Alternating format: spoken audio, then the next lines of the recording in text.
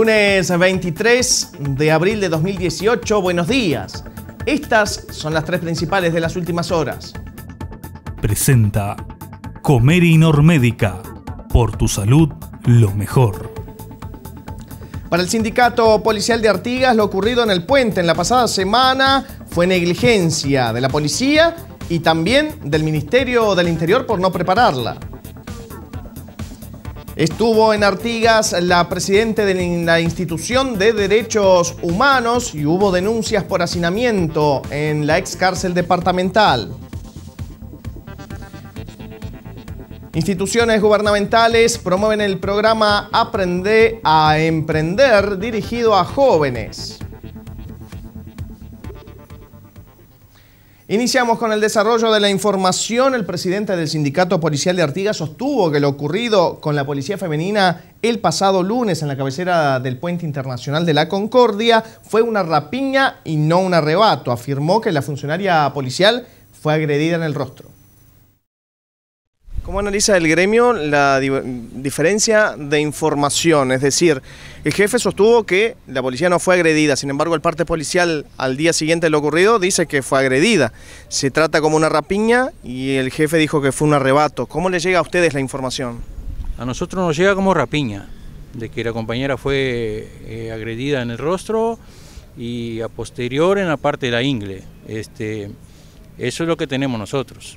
Este, lo que se maneja el jefe, bueno, allá él es responsable de sus dichos. Este, el sindicato lo que tiene es esa información. Como portavoz de los trabajadores, de los policías en este caso, ¿no les correspondería a ustedes plantearle eh, capacitaciones más seguidas, práctica de tiro, defensa personal, una asistencia psicológica? Bueno, eh, lo primero eh, que tú dices este, referente a la capacitación, este, ya fue planteado. Este, referente al tema psicológico del policía, nosotros somos los que encabezamos las estadísticas este, por, falta de tratamiento psicológico. Llámese violencia de género, llámese lo, X. La policía encabeza todas las estadísticas por falta de tratamiento psicológico no quieren reconocer este, que el trabajo del policía es, digamos, el más difícil que puede haber. El policía no solo tiene que estar preparado psicológicamente para sus problemas personales, sino que tiene que atender a los problemas de la ciudadanía. El presidente también de Simpolar consideró que existe negligencia de la policía y del Ministerio del Interior de no prepararla adecuadamente. Sostuvo que retirar a la policía del puente sería una posibilidad porque esto es jurisdicción del Ministerio de Defensa. En realidad son, em, son dos, ¿no?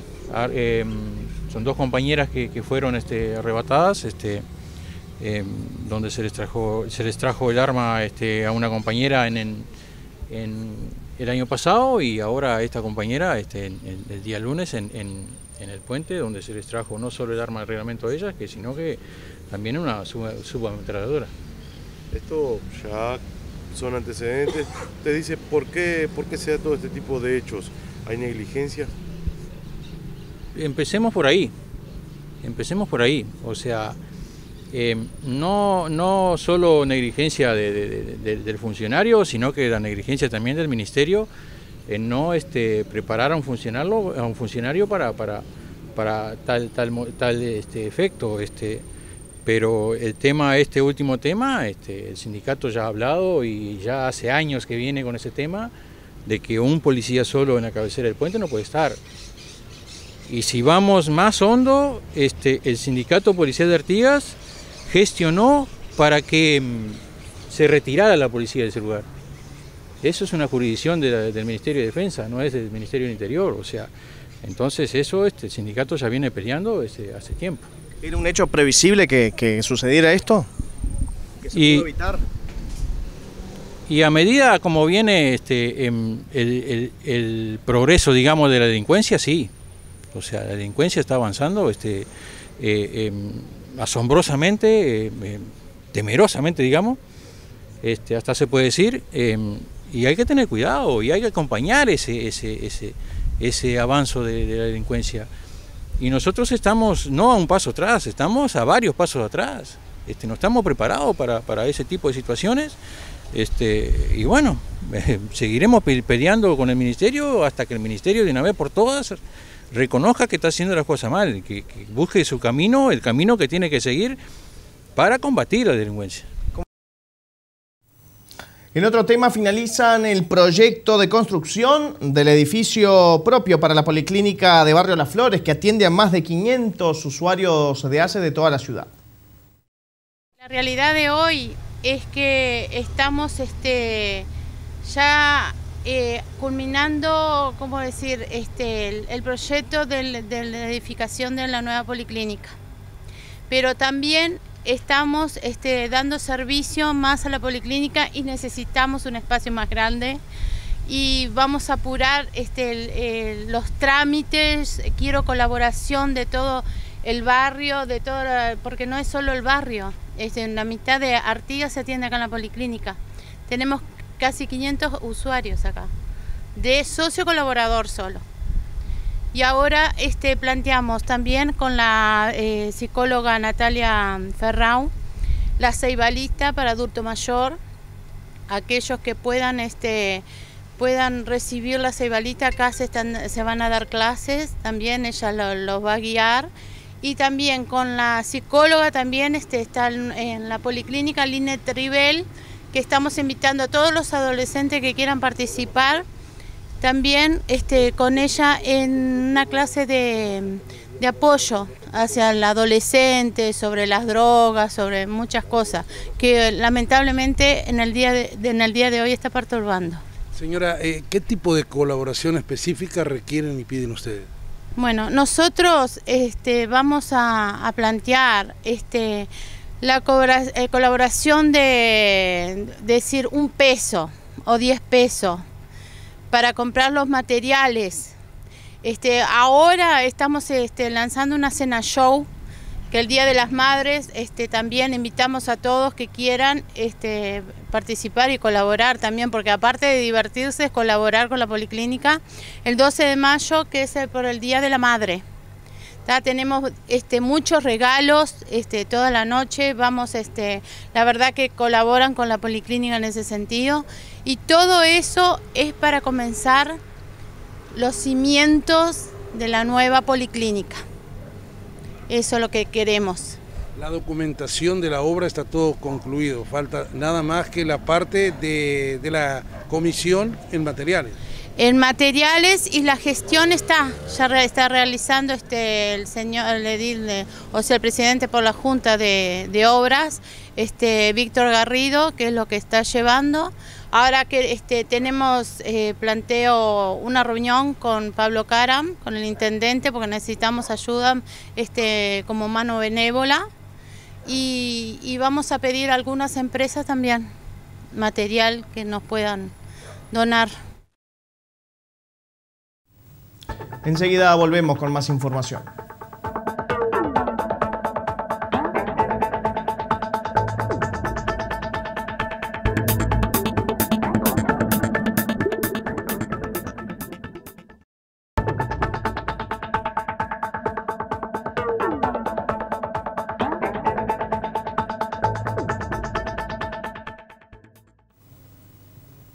La institución de Derechos Humanos y Defensoría del Pueblo comienza a operar en Artigas. Su presidente presentó los objetivos de la organización ante autoridades departamentales.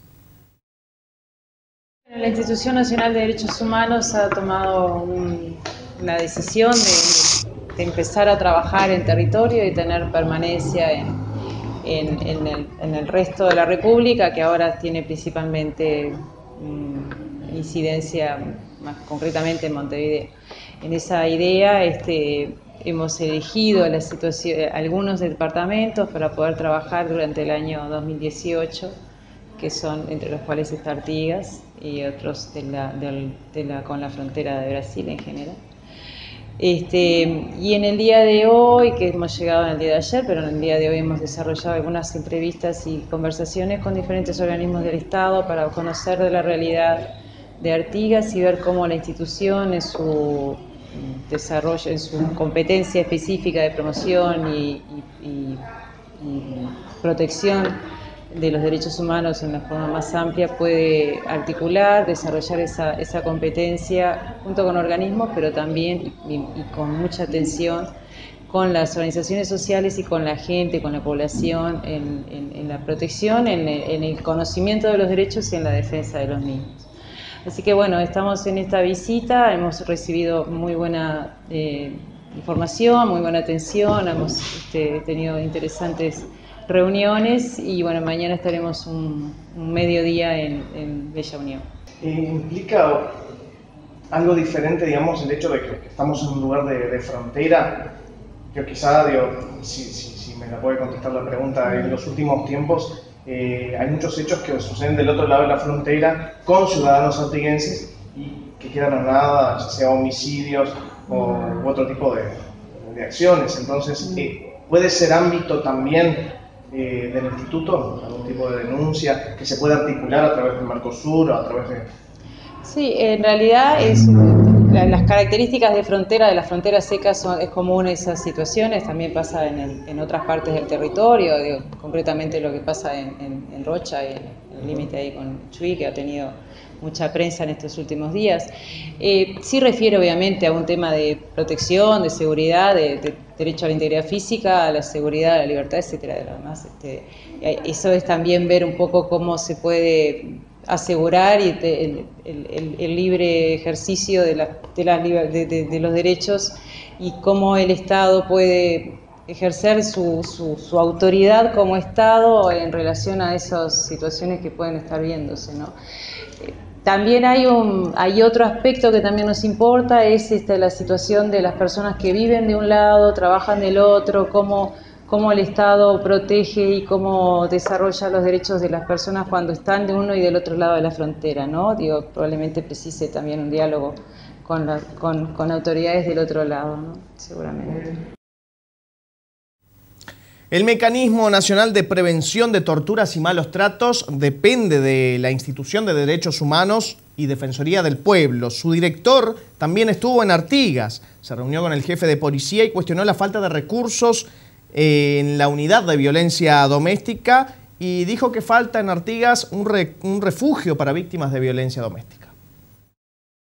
El Mecanismo Nacional de Prevención es de prevención de la tortura y, malos tratos, o sea, es el instrumento del que se vale la institución nacional para fiscalizar en todo el país, a nivel del territorio, la situación de aquellas personas que están eh, privadas de su libertad, en un sentido amplio, o sea, eh, se ve allí desde situación de niños que están institucionalizados, eh, personas que padecen enfermedades mentales, eh, obviamente los sistemas de, reclusión de adultos, comisarías, cuarteles, bueno, en cualquier lugar donde existe alguien que está privado de su libertad o no puede salir por su voluntad de ese lugar.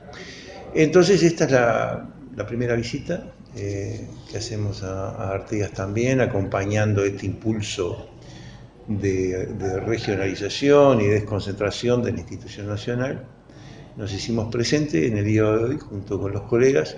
Eh, tuvimos un primer encuentro con el jefe de policía, Britos, eh, muy, muy constructivo y agradable encuentro, fuimos muy bien recibidos creemos que allí se sentó una, base de cooperación hacia adelante. Nosotros informamos al jefe que de ahora en adelante estaremos operando en el, en el, territorio del departamento en las modalidades en que operamos, o sea que visitamos centros de detención sin aviso previo. Eh, esto fue, fue bien recibido, intercambiamos coordenadas por cualquier cosa, pero nos quedamos muy satisfechos. Eh, después vimos a la unidad de violencia doméstica de, la policía departamental y allí eh, lo que sí nos impresionó en primer lugar fue el buen empeño y, la buena fe y la dedicación de los funcionarios que trabajan allí. Eh, realmente un gran profesionalismo, una gente con una vocación que es admirable. Lo que también nos impresionó fue el hecho que esa gente no cuenta con los recursos necesarios para poder hacer su trabajo como se debe. O sea, Artigas no tiene un centro de albergue para madres que han sufrido eh, los efectos de la violencia doméstica con sus hijos, esa gente que tiene que irse de noche. Entonces la policía, en, una unidad policial, han abierto allí una pequeña guardería, o sea que donde se ha hecho todo lo que se ha podido con, con donaciones privadas, o sea, por eso me refería yo a ese, a ese a la calidez con que se hace, no es esa la solución. O sea, lo que se necesita es un albergue eh, donde se le dé una solución definitiva institucional y donde el Estado se empeñe en esto, no puede quedar liberado a la buena voluntad de, profesionales de alta calidad como los que nos encontramos hoy. Vale compartir otro fragmento de la extensa conferencia de prensa del presidente, de la presidenta de la Institución de Derechos Humanos y también del director de Mecanismo Nacional de Prevención, quien comentó después que se reunió con operadores judiciales de Artigas y también visitó la unidad 21. Dijo que allí hay hacinamiento de reclusos y la precariedad del lugar, resaltó, dijo que está plagado de ratas y cucarachas. Eh, estuvimos reuniones con operadores este, jurídicos también.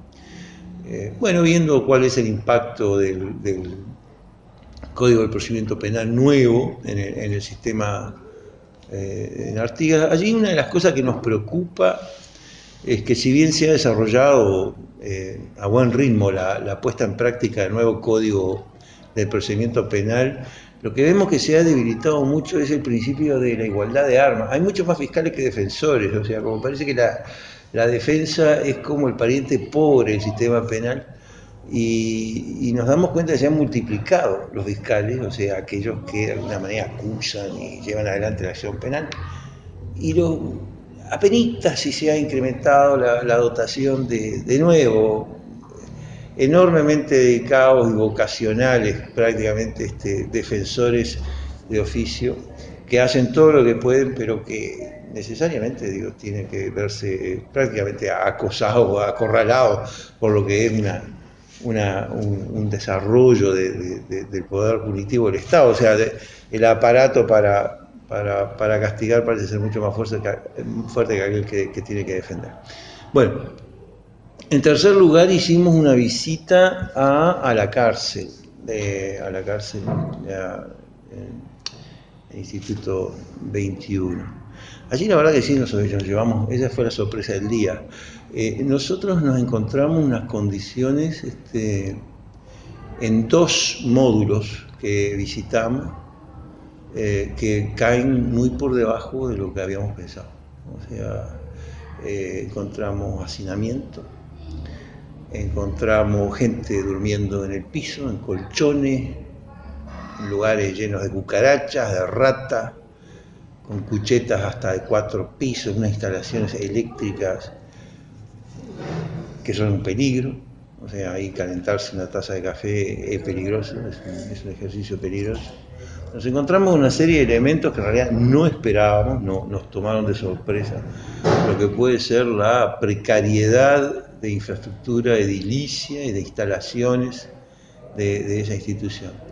Fue una visita parcial, o sea, cubrimos, yo diría, un universo de quizás unos 50, 60 eh, reclusos, claro, eh, en una institución que debería probablemente tener no más de 80, ahí hubiera sido bueno, pero como estaba con 170 hoy, porque tiene, está como casi al doble su capacidad, este, nos quedó mucha gente sin ver, era el día de visita, la visita también se realiza en condiciones este, mucho menos que ideales, en los corredores, donde la gente tiene muy poca intimidad, muy, muy poca posibilidad de realmente intercambiar en, circunstancias en que, fíjense ustedes que esta es la vez semanal o en, la que la persona que está privada de libertad ve a su familia, a sus hijos, ¿verdad? Entonces, este, nos llevamos esta primera experiencia eh, con, con preocupación, eh, cómo el trabajo del Mecanismo Nacional de Instituciones es de colaborar con las entidades del Estado, vamos a ir allí pensando alternativas, soluciones, recomendaciones que podamos hacer, este, pero desde ya le aviso que nada de esto sirve si no existe un compromiso serio, dedicado, de empeño por parte de las autoridades estatales y departamentales. Conocemos ahora la cotización de las principales divisas al cierre de esta semana. El dólar a la compra cotizó a 27 pesos con 58, a la venta 28 con 68, cerrando en baja. El euro 33,06, 36,23, también cerrando en baja. El real 7,86, 8,86, compra-venta respectivamente. Y el peso argentino que eh, cotizó a 1 peso con 01 a la compra, 1,71 a la venta. La farmacia de turno en Artigas hoy es Farmacia Saga en Manuel Oribe 486, teléfono 477-24675. En Instant también tenemos la farmacia de turno para este sábado y domingo. Eh, será Farmacia Popular en Garzón 300, sábado, domingo y lunes, teléfono 477-222-00. En instantes volvemos con más información.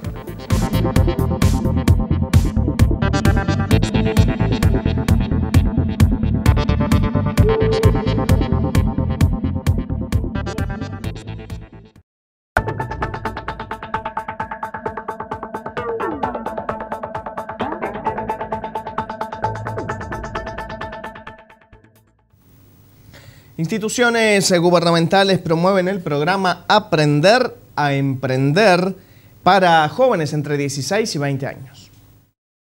La idea principal es justamente eh, trabajar con jóvenes. Eh, en esta oportunidad se, está trabajando con jóvenes entre 16 y 29 años.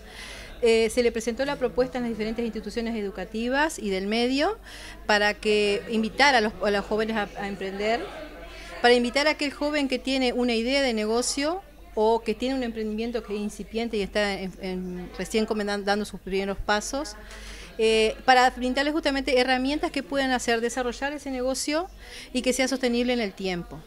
Eh, esto ya se viene haciendo con este, personas de, que ya tienen emprendimientos en funcionamiento y justamente se quiere trasladar a los jóvenes que muchas veces este, tienen iniciativa, tienen ideas innovadoras, pero no tienen las herramientas para ponerlas en prácticas. En un primer balance, ¿qué impresión se lleva de las propuestas o de las consultas realizadas por los participantes? Eh, veo mucho entusiasmo en los gurises, veo que este, vienen interesados este, por las herramientas que les podemos ofrecer, eh, quieren eh, ir desarrollando sus ideas y esto va más allá de que una idea pueda ser puesta y implementada ya, porque estamos hablando de, de muchachos de 16 años, aunque tenemos hasta de 27. Em, simplemente eh, son herramientas que son comunes a todos los rubros y que pueden ser utilizadas en diferentes momentos de la vida. Eh, ellos en este caso son estudiantes y algunos trabajan, pero este, todos tienen una idea eh, que le vamos a ir desarrollando. Este es el primer taller y lo importante también es decir que van a venir otros docentes que son este, idóneos en diferentes áreas entonces ellos van a poder contar con diferentes herramientas, tanto en la área de marketing como la parte de economía, contador. Este, en, el caso, en este caso me acompaña una psicóloga, yo trabajadora social, este, y con el apoyo del INJU acá en el, territorio. ¿Cada cuánto serán este tipo de actividades aquí en Artigas? Van a ser todos los viernes, eh, siete viernes seguidos, y vamos a estar acá hasta el primero de junio, en el horario de 10 de la mañana a 1 de la tarde. ¿A qué tipo de emprendimientos apuntan los jóvenes aquí en Artigas? Eh, ellas tienen ideas bastante innovadoras, o sea, son bastante desafiantes, lo, que, lo cual es bueno. Eh, tienen, por ejemplo, eh, masaje, me planteaba uno ahora, por ejemplo, que es algo que ellos ven que no ha sido muy difundido acá en el, territorio y como que no tiene mucho desarrollo. O sea, que ellos tienen un desafío importante ahí este, y para nosotros también este, en cuanto a las herramientas que les podemos brindar. Después tiene la parte gastronómica también eh, y bueno, y algunos este, están como recién pensando sus ideas pero bien, van muy bien encaminados. Estamos trabajando con mucho entusiasmo. Conocemos ahora la cartelera de cine en la sala Movie Club para este fin de semana. Sherlock Gnomes. En pleno corazón de Londres, Nomeo y Julieta descubren que están desapareciendo de manera misteriosa los gnomos de jardín. Para resolver el misterio, la pareja decide pedir ayuda al mundialmente famoso detective Sherlock Gnomes. Pronto, descubrirán que Sherlock no es tan buen detective como su versión humana y la amenaza contra los gnomos de jardín será cada vez mayor. Coco, la nueva producción de Disney Pixar cuenta la historia de Miguel, un niño de 12 años que a pesar de la incomprensible prohibición de su familia sueña con convertirse en un músico consagrado. Desesperado por probar su talento, Miguel llega mágicamente a la impresionante y colorida Tierra de los Muertos. En el camino encuentra al simpático timador Héctor y juntos se embarcan en una extraordinaria travesía para develar los secretos detrás de la historia familiar de Miguel. Un lugar en silencio. En medio de un hermoso bosque lleno de quietud y armonía, una familia lleva su día a día con la mayor normalidad posible, pero en absoluto silencio. Si llegas a hacer el más mínimo ruido, unas extrañas criaturas que acechan en el exterior se acercarían de forma amenazante para cazarlos. Cine uruguayo, la noche que no se repite. Filmada íntegramente en el departamento de San José y basada en una novela de Pedro Peña, esta ópera prima de los uruguayos Aparicio García y Manuel Barriel narra la historia de diferentes personajes que se ven relacionados entre sí a partir de la broma pesada que dos adolescentes aburridos le juegan a un repartidor de pizza. A consecuencia de una confusión, se verán relacionados con un mítico asesino a sueldo, su mano derecha, un acaudalado estanciero y un tal Mauricio. Rampage. Davis Okoy es una especialista en primates de reconocido prestigio que mantiene un vínculo muy importante con un singular gorila albino llamado George, un animal que posee una inteligencia extraordinaria y al que lleva cuidando desde su nacimiento. Cuando este gorila es víctima de una peligrosa modificación genética, su ADN mutará rápidamente y de manera incontrolada. Será entonces cuando George crezca de forma exponencial y se convierta en un monstruo violento. Su tamaño, rapidez, agilidad y violencia estará fuera de control. Pero este gorila no es el único animal que ha mutado. Okoi pronto descubrirá que hay otros animales que tienen el mismo problema y que destruyen todo lo que encuentran a su paso. Para frenar esta amenaza y recuperar a su entrañable compañero, Okoi deberá enfrentarse a los responsables de esta mutación que está sembrando el pánico en el mundo, pues el primatólogo es el único capaz de frenar a estos monstruos y su amenaza. Además, un gran estreno. Ready Player One comienza el juego. La historia sucede en el año 2045, con el mundo al borde del caos y el colapso. La gente encuentra la salvación en Oasis, universo expansivo de realidad virtual creado por el brillante y excéntrico James Halliday. Halliday muere y su inmensa fortuna será heredada por quien encuentre un huevo de Pascua digital que él escondió en algún lugar de Oasis. Cuando el joven Wade Watts decide unirse a la competencia, se ve arrastrado dentro de una vertiginosa cacería de tesoros que distorsiona la realidad a través de un universo fantástico.